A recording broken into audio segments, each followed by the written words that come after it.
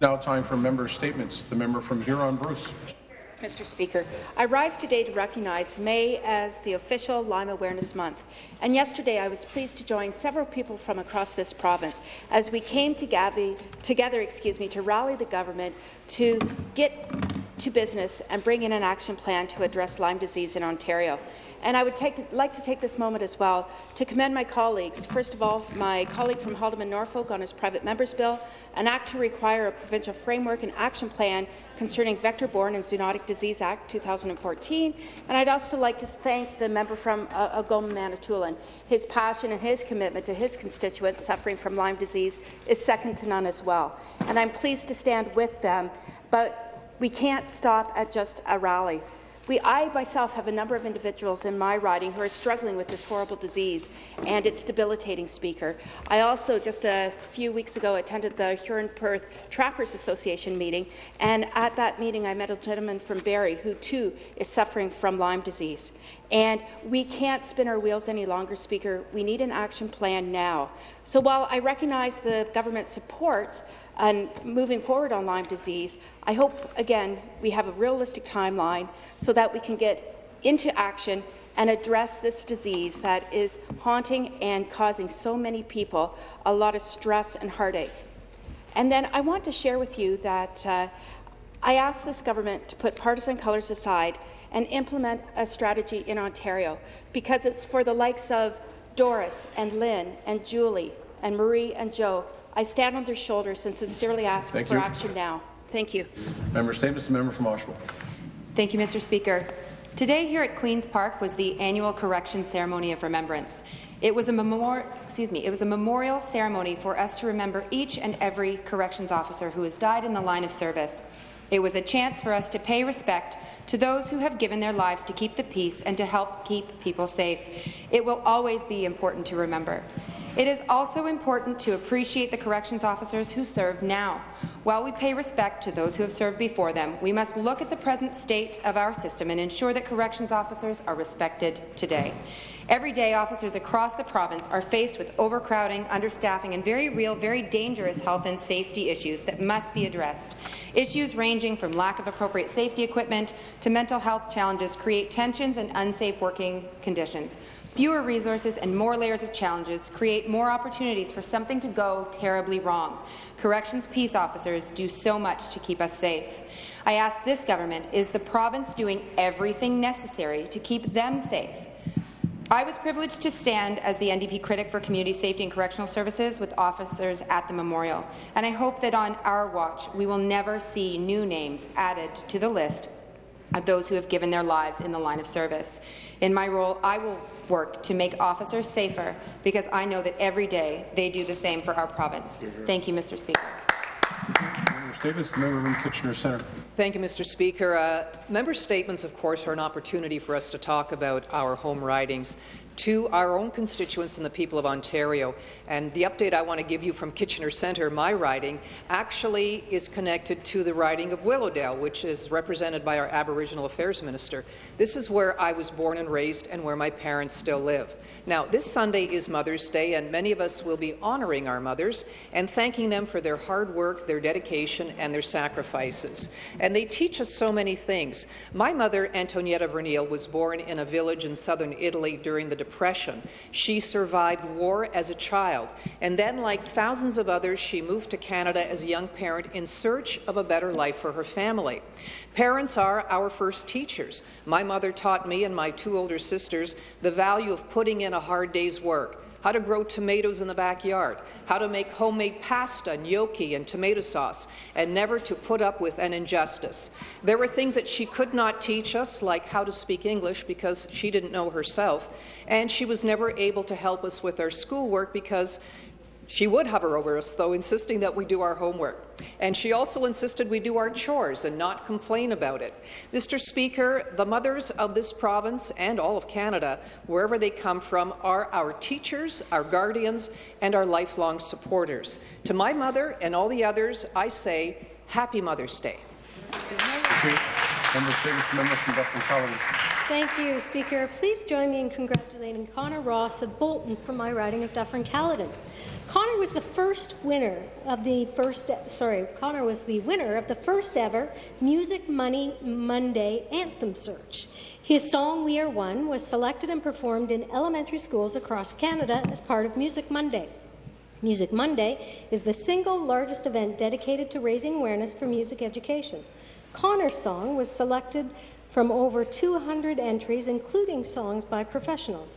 Other notable Canadians who've written songs for Music Monday include Chris Hadfield, Serena Ryder, and Ed Robertson from the Barenaked Ladies. Connor is now part of this illustrious group. There are some great messages in Connor's song, including how music can serve as a tool to help transform and or save lives for those with mental illness. Connor was pleased that his song was selected to be performed across the country. However, he was a bit disappointed that his own school, Mayfield Secondary, couldn't participate since the school is closed as a result of the teacher strike. To quote Connor, he states, It's a little bit of a bummer that no one could even go to the school that day if they wanted to, but this is mainly for elementary schools anyway, so thank goodness they weren't on strike yet. Once again, I'd like to congratulate Connor Ross for this amazing achievement and wish him all the best in his career in music. Thank you. Thank you. Member statements, the member from Welland. Thank you, Speaker. It's an honour to rise today as the NDP critic for Labour to speak to workers who are left with no choice but to take action because of this Liberal government's continued cuts, especially in education and health care. Teachers and nurses have flooded my inbox. On Monday, almost a million students and 73,000 teachers will be affected by strike action next week as a continued result of education cuts seen by this government's budget. The Minister of Education claimed today that she and boards were not notified of the details of the ETFO strike for Monday, when in fact those details were received three days ago. Constituents are angry about this Liberal government wanting to strip collective agreements, reduce teachers' ability to use their professional judgments, and to remove cap, uh, caps to class sizes. Worse, there's been nothing but indifference by this government's response to these disputes. In my own riding of Welland, healthcare workers, nurses, members of OPSEU Local 294 have been on strike for more than a month now. The CCAC, responsible for contracting to the for-profit care partners, has not said a peep, nor has the government, about ensuring transparency and accountability for for-profit agencies who are actually um, these nurses are working for, despite I've raised this three times in the legislature. Today, I stand to highlight the plight of educator, educators, of frontline workers who have been left with no choice but to take strike action because of this Liberal government's failures. Thank you. Member from Halton. Thank you, Mr. Speaker. Mr. Speaker, I'm pleased to rise today and give special recognition to two really great organizations doing incredible work in Halton. Oak Park Neighbourhood Centre and the Community Youth in Action Network are two organizations that have made significant contributions to so many people's lives.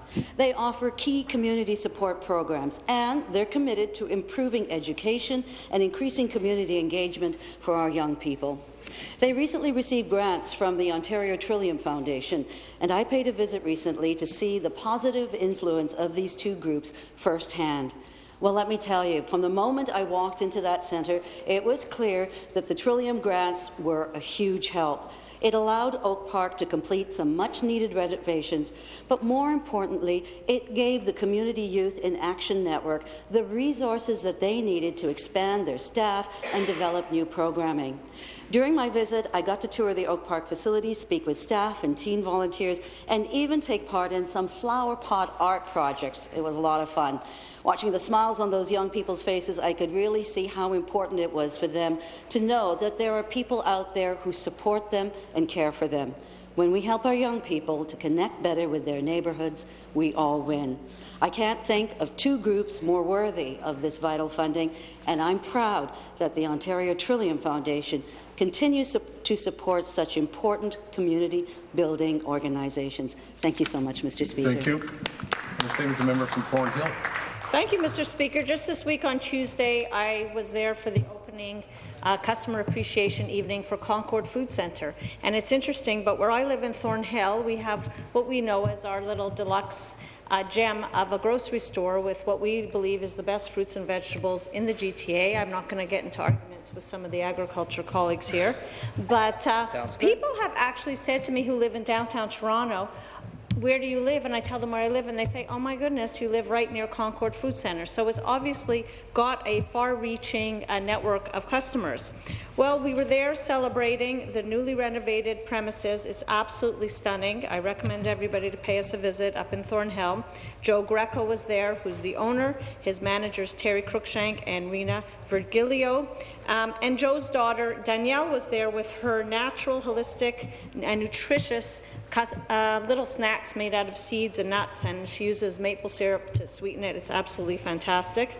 Sylvana and Bianca, Bianca's the daughter, were there from Cannoli Queen's Pastry, giving out samples. Uh, Alyssa Ritter was giving out. Uh, Alyssa was giving out Ritter chocolates. I don't believe her last name is Ritter. Ralph Eisenberg was serving cake from La Roca Cakes, and Camille Marcotte, who's the designer of the new premises, was there as well.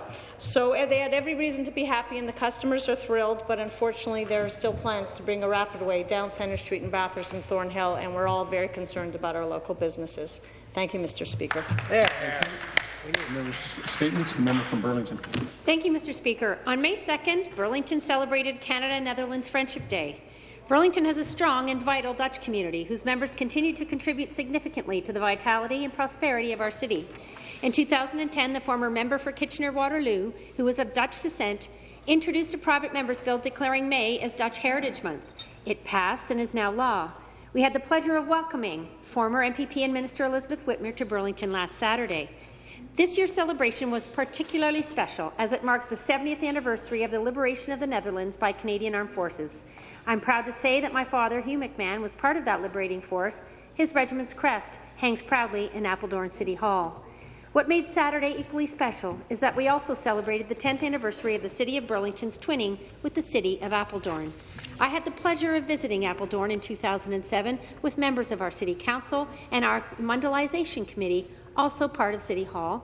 People like Charles Minkin, who chairs the Apeldoorn Subcommittee, were there on Saturday, and he organized the event. At City Hall on that day, we heard the beautiful performances from the Deo Gloria Choir, visiting from Urk, the Netherlands, Alexander Public School Band, and the Royal Canadian Legion Branch 60 Colour Guard. Finally, we were all touched by the stories shared by students at Lester B. Pearson High School, led by teacher Judith Jennis on a recent trip to Apeldoorn, Students conducted research on a fallen soldier buried in the Holten Canadian War Cemetery. Part of this meaningful initiative sees the students sharing that story, which is then stored in a permanent collection on display at Holten. It was an extremely meaningful celebration, and I would like to thank all of those who played a role in organizing this year's Canada-Netherlands Friendship Day. To them I say, Dankjewel. Thank you, Mr. Speaker. Thank you. The member statements. The member from Cambridge. Thank you, Speaker. Today, I rise as a government MPP from Waterloo Region to talk about a tech giant in the region. BlackBerry is a prime example of an Ontario success story of innovators in a new industry and is a homegrown company that today employs over 4,500 workers across Ontario, many of those, Speaker, who live and work in the Waterloo region in my hometown of Cambridge. BlackBerry is known around the world, and rightly so, as a leader in the smartphone industry. Their enterprise and security software are second to none. BlackBerry was on the leading edge of the, the technology and IT sector explosion in Waterloo Region, which still benefits the Waterloo Region economy and indeed Ontario's economy. It's one of the reasons why the Ontario government has been one of the largest purchasers of BlackBerry products in the world, something I'm extremely proud of.